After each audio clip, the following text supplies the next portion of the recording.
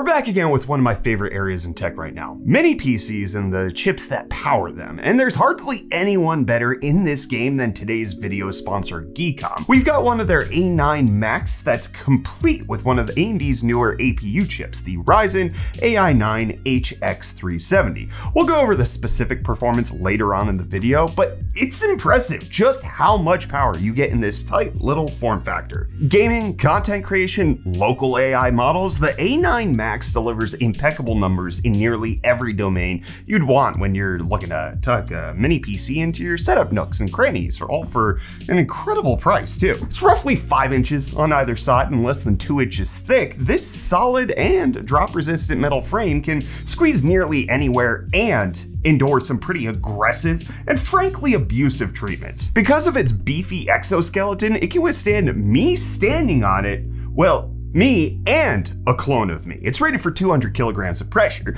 If you're subjecting your computers to that kind of force, I want to know what hobby or industry are you in that Geekom is designing their PCs for people like you. But it's not just the physical durability, it also has a UV coating of transparent resin that prevents scratches and keeps the appearance fresh and sleek, even after long use. And you're gonna wanna protect the innards of the A9 Max because it's hosting some serious bow wow wow. I already mentioned the HX370 chip, and that thing has 12 cores, 24 threads at up to 5.1 gigahertz. That's already enough, but the integrated graphics is the Radeon 890M, a 16 compute unit chip that's based on RDNA 3.5. All of that's already enough for so many aspects of computing. Games will run great, as we'll go into in a minute. You've also got a nicely balanced CPU GPU combo for video editing and running local AIs that's also excellent since you get up to 80 AI tops of performance out of the entire HX370 chip. That includes the 50 tops from the NPU and then what the CPU and GPU provide on top of that. And you combine that with support for up to 128 gigabytes of DDR5 SODIMM RAM, and you've got a mini powerhouse. And you don't just get a lot of RAM capacity, but also two slots for storage. Geekom's base configuration of this A9 Max gives you 32 gigs of RAM and 2 terabytes of SSD goodness, but you can easily upgrade that by cracking open the shell. But all of that oomph is useless if it overheats and throttles, but thankfully Geekom has made that a non-issue with their Ice Blast 2.0 cooling system. Large copper heatsink, dual heat pipes, premium thermal compounds, high efficiency airflow interior,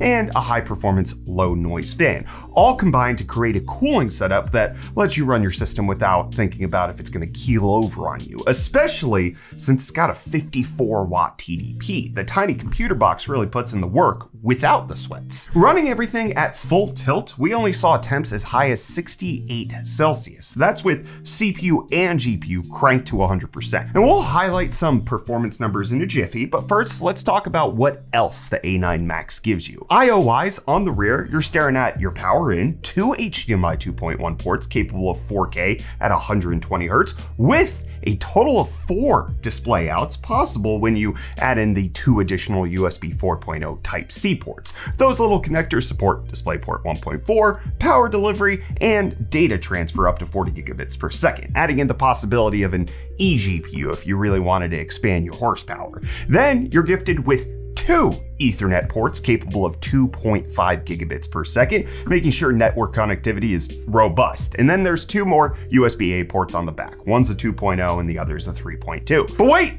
that's not all. On the front, you've got an easy access power button, unlike some other mini PCs, a headphone jack, and four more USB 3.2 ports for a total of eight USB ports on this little device. There's also a Kensington lock for keeping it safe and an SD card reader for ingesting footage to your mini workstation. And you can even slap it on the back of your monitor with its VESA mounting plate if you're so inclined to get it off your desk for that no cable look. Speaking of, wireless is also pretty sweet here too with Bluetooth 5.4 and Wi-Fi 7. And you might be an eensy bit concerned with wireless performance since it is a metal box, and metal plus wireless signals are known to play together. But don't worry, since Geekom has thought of that and implemented 3D stereoscopic antennas for stronger signal reception and wider coverage to ensure smooth and stable Wi-Fi performance. But wireless fireless ain't the only area where the Geekom A9 Max performs. Let's talk some real business. Looking at synthetic benchmarks like Cinebench 2024, this thing put up numbers of a single core score of 119